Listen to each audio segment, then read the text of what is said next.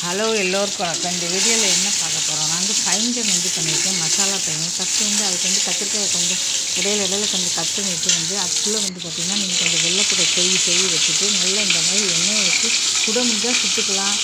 இல்லைன்னா இந்த மாதிரி இழுச்சட்டில் போட்டு பண்ணிக்கலாம். அதுக்கப்புறம் வந்து என்ன பார்த்தீங்கன்னா எண்ணெய் ஊற்றி சீரகம் அப்புறம் இந்த பிரியாணி இலை பச்சை மிளகாய் இதெல்லாம் போட்டு நல்லா வதக்கிக்கோங்க.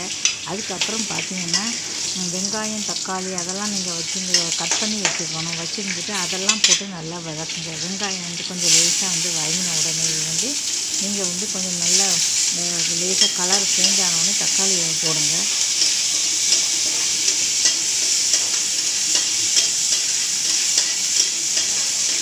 தக்காளி ஆனவுடனே குடமிளகாய் வந்து குடமிளகாய் போடுங்க. அதுக்கப்புறம் பார்த்திங்கன்னா உப்பு காரப்பொடி அப்புறம் வந்து கொத்தமல்லி பொடி எல்லாமே வந்து கொத்தமல்லி பொடி எல்லாமே வந்து நீங்கள் போட்டுக்கோங்க. எல்லா பொடியும் பொடினா வந்து இதில் வந்து உங்களுக்கு நல்லா வந்து வதங்கும். எல்லாத்தையும் போட்டு நல்லாவே வதக்கிடுங்க.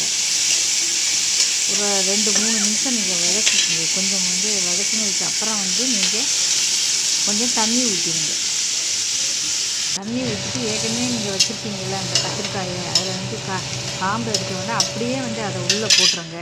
போட்டு அது வந்து எல்லாமே வந்து சேர்ந்து வரும் சேர்ந்து வந்ததுக்கப்புறம் வந்து பார்த்தீங்கன்னா இறக்கிட்டு இந்த சப்பாத்திக்கு வந்து நீங்கள் சாப்பிடணும். சப்பாத்திக்கு சாப்பிடும்போது பார்த்திங்கன்னா ரொம்ப சூப்பரான ஒரு சுவையோடு நல்லாயிருக்கும் பிரியாணி மசாலா வந்து அதை கூட நீங்கள் ச சேர்ந்து மசாலா கூட சேர்த்துக்கலாம். சாப்பிடும்போது வந்து ஒரு டிஃப்ரெண்ட்டோடு இது சப்பாத்தி கூட சாப்பிட்டுக்கலாம் தோசை கூட சாப்பிட்டுக்கலாம்.